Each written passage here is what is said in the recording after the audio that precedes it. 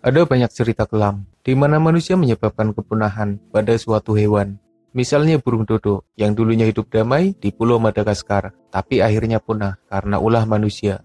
Lalu sapi laut Steller yang punah karena terus diburu manusia. Mereka diburu sampai habis hingga tak tersisa.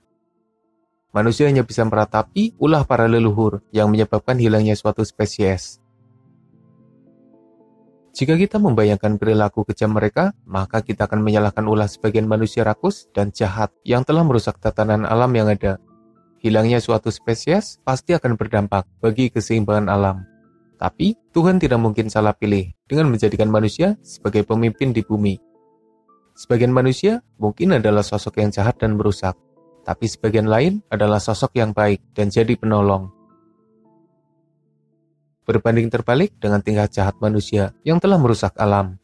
Ada cerita indah di mana manusia telah berjasa dalam menyelamatkan para setan yang hampir mengalami kepunahan. Setan yang dimaksud adalah setan Tasmania atau Tasmanian Devil. Sosok hewan pemangsa berukuran sedang dengan rupa mengerikan, bau menyengat, dan suara yang berisik. Hewan ini mungkin saja akan diabaikan oleh manusia tapi perjalanan hidup mereka yang berhubungan dengan manusia membuatnya terkenal dan jadi salah satu hewan yang paling diperhatikan oleh manusia, bahkan hingga saat ini.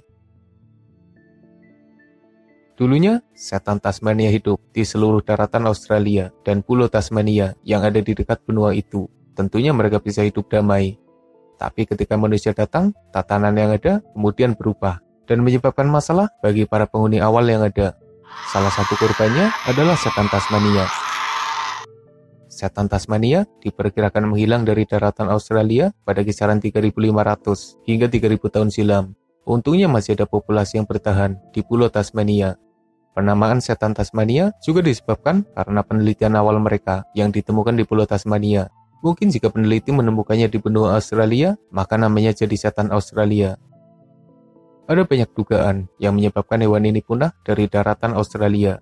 Ada yang menduga karena ulah manusia, ada yang menduga karena kalah bersaing dengan dingo.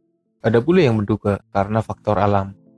Yang jelas, kehadiran manusia yang membawa anjing dingo juga mempengaruhi kehidupan setan Tasmania di Australia, menyebabkan mereka punah dari rumahnya sendiri. Setelah perjalanan panjang mereka di Australia berakhir, setan Tasmania yang tersisa hanya hidup di Pulau Tasmania, dan mereka juga masih menghadapi ancaman dari manusia yang akhirnya tiba di pulau tersebut. Kondisinya hampir sama, seperti saat Australia didatangi manusia. Pulau Tasmania yang awalnya damai dan sejahtera, akhirnya juga harus berubah karena kedatangan manusia. Dari beberapa laporan yang ada, orang-orang yang akhirnya hidup di Pulau Tasmania kemudian memburu dan mengusir setan Tasmania. Sebagian meyakini jika dulunya setan Tasmania diburu sebagai bahan makanan manusia, sementara yang lain meyakini jika setan Tasmania dianggap sebagai hama yang membahayakan ternak manusia. Apa pun alasannya, manusia pada masa itu juga tidak belajar dari kasus sebelumnya di daratan Australia.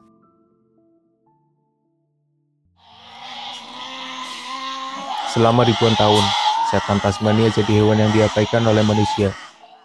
Mereka dianggap sebagai hewan yang tidak menguntungkan, apalagi rupa mereka yang memang agak mengerikan, membuat manusia tidak tertarik pada setan ini. Ketika suatu hewan diabaikan oleh manusia, sebenarnya ada keuntungan yang mereka dapat. Setidaknya, mereka bisa terhindar dari perburuan manusia. Mereka bisa hidup damai dengan caranya sendiri, tanpa ketakutan pada manusia yang mengusiknya.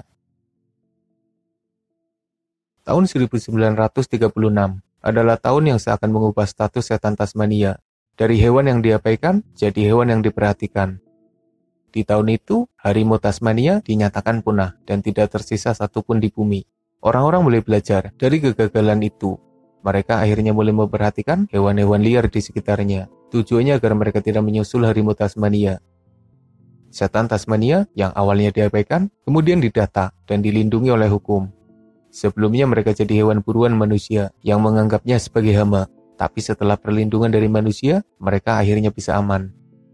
Adanya perlindungan itu ternyata berdampak besar bagi populasi para setan. Mereka terus berkembang hingga populasinya dinyatakan aman. Tapi masalah muncul kembali. Para peternak mengeluhkan keberadaan setan Tasmania yang dianggap sebagai hama pemburu ternak. Akhirnya perburuan setan diperbolehkan lagi, tapi dengan pantauan khusus. pada pertengahan abad 19. Populasi setan Tasmania diperkirakan ada di kisaran 10.000 hingga 100.000 ekor. Kala itu, sebagian masih diburu oleh para peternak yang menganggapnya sebagai hama.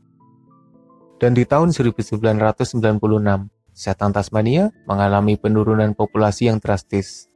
Penyebabnya karena serangan penyakit yang mewabah dan menyebabkan kematian pada penderitanya. Penyakit tumor wajah atau Devil Facial Tumor Disease, disingkat DFTD, adalah wabah penyakit yang tiba-tiba menyerang setan Tasmania. Tumor itu menyebabkan wajahnya hancur secara perlahan. Penderitanya akan mati dalam waktu singkat, dan wabah itu cepat sekali menyebar, menyebabkan banyak setan tidak berdaya. Diperkirakan, serangan tumor wajah itu telah memusnahkan sekitar 80% populasi setan Tasmania yang ada. Dan jika dibiarkan terus, maka tinggal menunggu waktu hingga semuanya punah. Hingga saat ini, belum ditemukan obat yang tepat yang benar-benar menyembuhkan penyakit para setan. Tapi berkat pertolongan manusia sejak awal kemunculan wabah itu, setidaknya setan Tasmania masih bisa bertahan hingga saat ini. Artinya, manusia telah memutus penyebaran wabah itu, menolong sisa populasi yang ada, dan melestarikan mereka supaya tetap bertahan.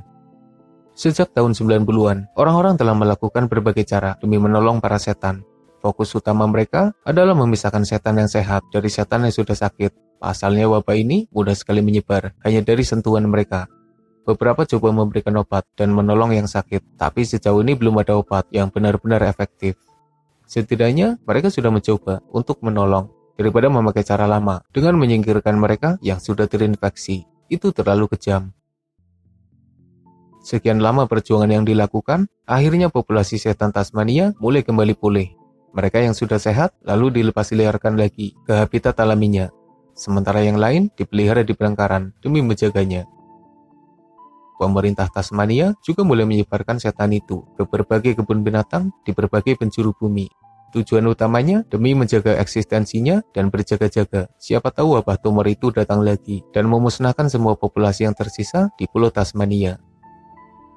Tahun 2020 silam juga jadi tahun yang mengharukan Pasalnya di tahun itu, setan Tasmania kembali ke rumahnya di daratan Australia. Beberapa orang melepas liarkan mereka ke alam, berharap para setan bisa menghidupkan kembali situasi 3000-an tahun silam. Situasi di mana setan Tasmania hidup damai di daratan Australia, berdampingan dengan harimau Tasmania, kanguru, dan hewan lain yang jadi penghuni asli Australia. Setan Tasmania, hewan yang mengalami perjalanan penuh lika-liku karena manusia. Mereka terusir dari rumahnya sendiri. Mereka bertahan dari serangan manusia. Mereka berjuang melawan penyakitnya. Dan entah sampai kapan mereka bisa bertahan dengan berbagai cobaan yang mereka alami. Sebagai tambahan informasi untuk kamu yang masih asing dengan setan Tasmania, mereka ini adalah hewan pemangsa berkantung dengan ukuran terbesar yang masih ada di bumi, tentunya setelah harimau Tasmania punah. Ukurannya hanya sebesar anak anjing, beratnya saja di bawah 10 kg, Hewan ini punya gigitan terkuat jika dibandingkan dengan ukuran tubuhnya. Mereka adalah pemangsa dan pembangkai yang agresif. Mereka sangat berisik, mereka pemarah, dan mereka lumayan berbahaya karena bisa saja menyerang manusia yang ada di dekatnya. Penampilan mereka lumayan mengerikan dengan bulu hitam dan wajah yang garang. Belum lagi jika kita melihat yang terkena tumor, penampilannya lebih mengerikan lagi. Semoga saja mereka tetap lestari Semoga perjuangan manusia yang coba menyelamatkan para setan bisa berbuah manis.